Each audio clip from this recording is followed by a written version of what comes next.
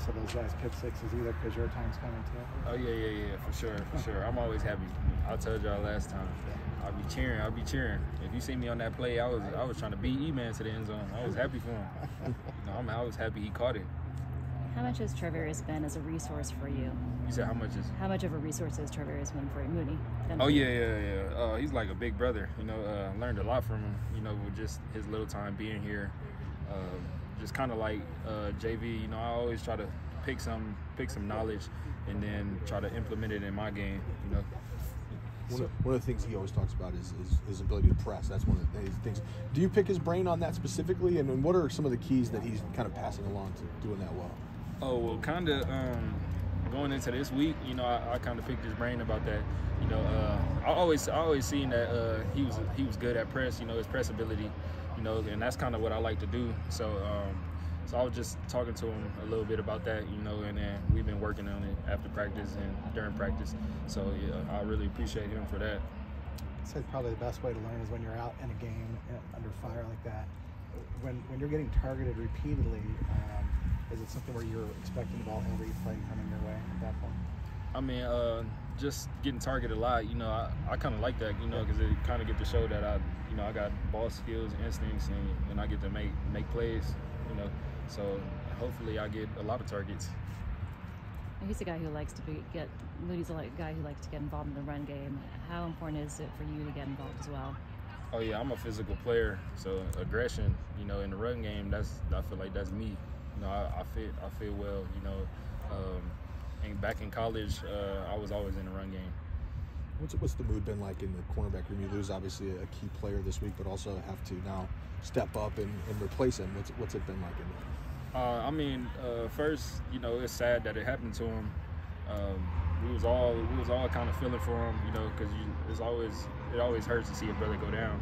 Um, but after that, you know, it's kind of like the next man up. You know, we got to be prepared. Uh, we ha- he gave us some knowledge, and we got to take it and run with it. How much more confident are you this year at this point than you were last year when you came here? Oh, I'm super confident. Um, I feel like the game slowed down a lot for me. Is there any point in particular where it did really start to click and start to slow down? Uh, I would say um, Denver, uh, starting around Denver. Uh, that confidence. I mean, well, I was playing a new position back in Denver, uh, so it it just uh, you know kind of just build confidence on the way up. Like just keep working at it and just being able to come and practice and, and compete against some of the best receivers said you know, in the NFL. said when you got sorry when you got drafted that you'd cross paths with Richard Sherman. So I'm wondering if he's reached out at all to you lately or. Oh yeah, um, yeah. Um, Richard Sherman, that's like a big brother. Uh, him and my high school coach, they're like best friends. So I talk to Sherman pretty often. Uh, any tips for this week or any? Um, he recently? just supreme confidence. That's that's his biggest tip. You know, you got to go out there with a chip on your shoulder, and you got to go out there confident. When you say E-Man gave you some knowledge, now you have to run with it. What, what is that knowledge? Uh, just being well, he always tells me that I got good press ability and just being able to be physical and my aggression. And he just say, just use use your tools. A couple more. Is that something you did at, at Oregon? A lot of press stuff. Oh yeah, yeah, for sure. Uh, we was all we was press corners at uh, Oregon. Um, how difficult is it to kind of go back and forth between nickel and, and playing the outside? Uh, you know, week to week, practice to practice. Uh, I mean, it's it's kind of the same, but just nickel, you just more involved in the run game. So, like, you just worrying about fits, guards. You know, you gotta uh, be more quick, more quicker, and more instinctual. Did you play against Drake London? Drake London, yeah, yeah. I played against? Drake London when, when he was at SC.